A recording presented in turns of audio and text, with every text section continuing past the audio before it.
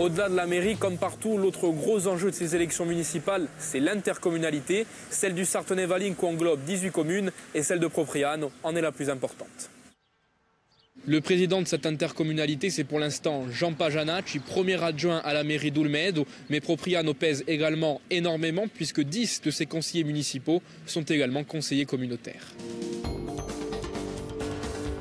Parmi eux, Paul-Marie Bartoli, maire de Propriano, mais aussi délégué aux déchets dans cette même intercommunalité, une place importante, scrutée même, puisque c'est toujours dans cette intercommunalité que se situe la commune et le centre d'enfouissement de Vigianello, lieu incontournable dans le cadre de la crise des déchets que traverse actuellement la Corse. Un projet de Vigianello 2, approuvé par la préfète de Corse, Josiane Chevalier, constitue toujours aujourd'hui un dossier énorme pour le Sartenay-Valinco. Forte de compétences étendues par rapport aux communes, les intercommunalités occupent donc une grande place dans l'esprit de tous les candidats au municipal.